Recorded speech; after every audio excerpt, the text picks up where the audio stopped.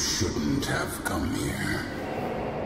Salut à tous, c'est Mitsunari, on se retrouve pour une nouvelle vidéo sur Warframe et aujourd'hui bah, on va de nouveau parler d'Equinox, hein, car ce le build de dualité dont je vous ai parlé dans ma vidéo précédente avait l'air de vous plaire. Du coup si vous n'avez pas vu ma vidéo précédente, je vous conseille d'utiliser la fiche pour aller la voir, car je ne vais pas m'attarder sur ses pouvoirs actuellement, vu que c'est déjà fait. Pour commencer, bah, je vais devoir logiquement vous parler du mode d'augmentation dualité, hein, vu que le build repose dessus. Vous pouvez l'obtenir via les syndicats, comme le nouveau Loka ou les arbitres d'Exis, pour la somme de 25 000 points de réputation. Si vous n'avez pas ces syndicats, vous pouvez toujours trouver un autre joueur vous les changer. Ce mode d'augmente va vous permettre, quand vous allez changer de forme avec votre premier pouvoir, de créer un clone à l'image de la forme que vous venez de quitter. Votre double durera 10 secondes et infligera 300% de vos dégâts. Il faut savoir que votre puissance n'augmentera pas ses dégâts, mais par contre les modes de durée augmenteront le temps où il pourra rester actif à vos côtés.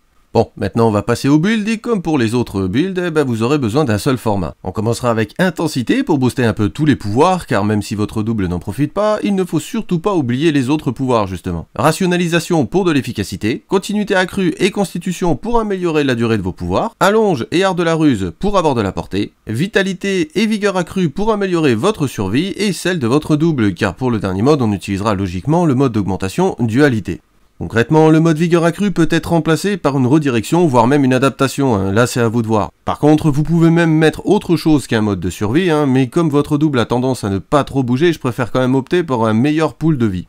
Ce build vous permettra d'avoir un allié de taille à vos côtés, car il possédera l'arme que vous avez en main au moment du changement de forme. Et en plus de ça, il prendra en compte les modes de l'arme, y compris les Riven, et aura ses dégâts boostés à hauteur de 300%. Ah oui, et en plus de ça, ces armes n'auront pas de damage fall-off, c'est-à-dire que contrairement à vos armes, la distance ne fera pas diminuer les dégâts de ces projectiles.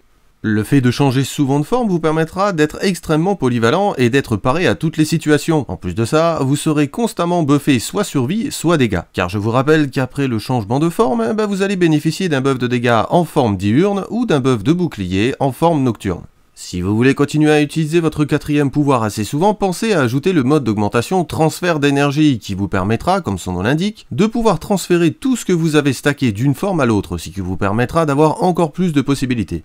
N'oubliez pas que certaines armes sont extrêmement violentes avec ce gameplay. Hein. Je peux vous donner comme exemple le Sobek avec le mode cartouche acide qui verra les dégâts de l'explosion boostés comme le reste, et qui fera faire un véritable carnage à votre double après un kill. Sinon en armes secondaires, bah, je vous conseille aussi les Staticores qui lui permettront de faire pas mal de dégâts de zone ou encore les Pox. Par contre, en ce qui concerne les armes de mêlée, il est complètement teubé, hein, je sais pas pourquoi, donc évitez de changer de forme avec une arme de mêlée dans la main. Et eh bien voilà, ce sera tout pour ce build Equinox Dualité. Dites-moi dans les commentaires ce que vous en avez pensé et n'hésitez pas à liker et à partager la vidéo si elle vous a plu ou si vous voulez tout simplement me soutenir. Comme d'habitude, le Discord est toujours à votre disposition ainsi que Twitter et Facebook, les liens se trouvent dans la description. Merci d'avoir regardé la vidéo jusqu'au bout et moi je vous dis à la prochaine. Bye bye